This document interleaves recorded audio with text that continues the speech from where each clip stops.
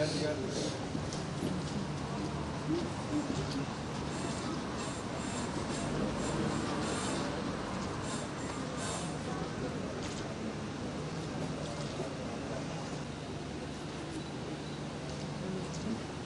mıyız arkadaşlar? ömrünü demokrasi ve kalkınma hedefine adamış Türkiye sevdalısı.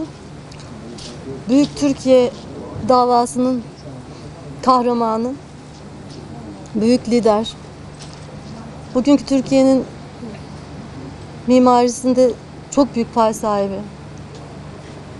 Yürüdüğünüz yolda, içtiğiniz suda, kullandığınız elektrikte, okuduğunuz okulda, şu hastanelerde, barajlarda, havaalanlarında her yerde unutulmayacak izler bırakan Sayın Cumhurbaşkanımızı saat 2.05'te maalesef hakkın rahmetine uğurladık. Çok üzgünüz. Ben kendisinin tüm sevenleriyle ve bütün Türkiye halkıyla acısını paylaşıyorum. Onun bize öğrettiği 20 senedir her gününü aşağı yukarı yanında geçirmiş birisi olarak yaklaşık en az gün 16 saatini bize öğrettiği hedeflerle, bize öğrettiği doğrultuda devam edeceğiz. Ve kendisinin selamıyla herkese onun adına seslenmek istiyorum. Herkesi sevgiyle, saygıyla selamlıyorum. Allah rahmet eylesin.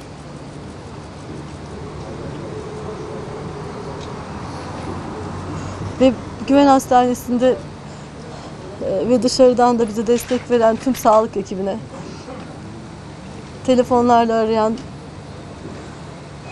buraya gelen, giden, her türlü şekilde destek veren herkese şükranlarımı sunuyorum. Sayın Cumhurbaşkanımızın tabii e, hem yaşı hem de mevcut bulundurduğu bir takım hastalıkları vardı çok uzun yıllardır takip ettiğimiz.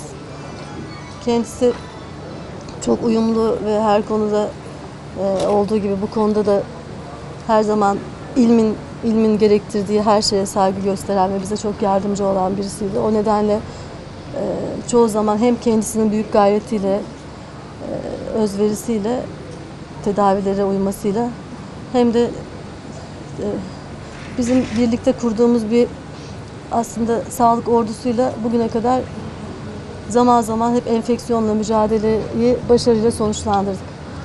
Kendisinin diyabeti, kronik böbrek yetmezliği e, ve bir takım bunlara bağlı rahatsızlıkları vardı. Ama bu zamana kadar gelebildik. Bu defa olmadı arkadaşlar. Ee, dün geceye kadar durum nasıl? Bilinci açık mıydı? Tabii, tabii son dakikaya kadar bilinci açıktı. Ee, akşam yemeğini beraber yedik. Son derece her zaman olduğu gibi vakur, mutlu ve huzurluydu. Sayın 9. Cumhurbaşkanımız Süleyman Demirel e, 13 Mayıs tarihinde akut solunum hasta akut solunum enfeksiyonu sebebiyle hastanemize geldiler ve e, tedavilerini evet tedavilerini devam ettirdik bu süre içerisinde. Zaman zaman iyileşmelerimiz çok daha iyi oldu ama bu enfeksiyonun vermiş olduğu zorlu etkilerin neticesinde maalesef bugün kendilerini sabahın erken saatlerinde kaybetmiş bulunuyoruz. Ee, Aylin da bahsettiği gibi her dakika, her saniye hep başında olarak tüm ekip kendisini çok uzun zamandır bilen, tanıyan, hastalıklarını yakından takip eden ve her özelliğini bilen bir ekip tarafından tedavileri sürdürüldü. Elden gelen bütün e, gerekli tedaviler, bakımlar en iyi şekilde yapıldı. Ee, Ancak maalesef kendilerini yaşamlarını daha uzun sürdürme fırsatı bulamadık. Ee, Ailesine, yakınlarına ve Türk milletine başsağlığı diliyoruz. İslamköy'de mi acaba toprağa Elbette. yapıldı mı? Elbette. Eşinin yanında mı toprağa verilecek? Elbette.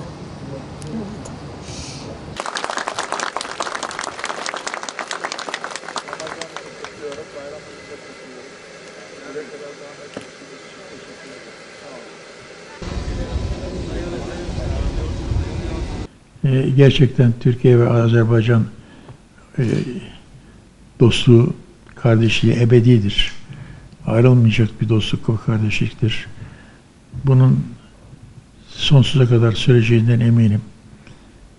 Bana verilen e, nişan daha çok bu dostluğa yapmış olduğum hizmetten dolayıdır. Ve e, bu hizmeti yapmaya devam edeceğim gayet tabii. Bundan büyük bir memnuniyet duydum. İyi şeyler hep sevinçle karşılar. İyi şeyleri. Mısır büyük bir devlettir. Bölgemizde önemli bir devlettir. Mısır'da istikrar olması,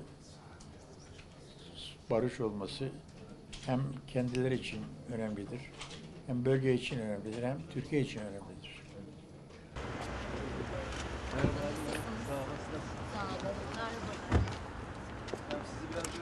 Kıbrıs Barış Harekatı. Ural Yamaç efendim. Muhabirim. 20 Ocak 90. Ne olur gönlünüz kimden tarafa? Tabii yani ne sorarsan sor cevap vereyim ama bu zor sual. yani kolay cevap veririm.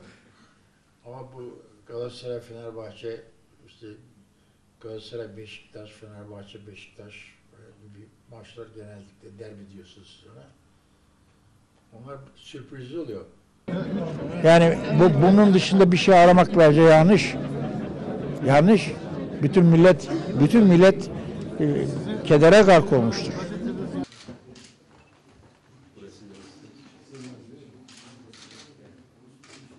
Avusturya'da okuyup geldikten sonra beraber çalışmaya başlamışızdır. Ve bugüne kadar da beraberliğimiz devam etmiştir. Eyvallah. 65 senelik hayat arkadaşı. Allah ona cennetin mekanı etsin. Allah rahmet eylesin.